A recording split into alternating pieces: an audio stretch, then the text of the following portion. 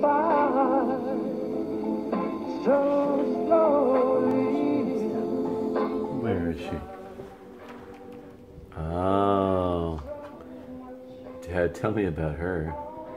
She was my heart throb. Heartthrob. Wow. That's beautiful, Dad. Would you kiss would you kiss her right now in the yearbook?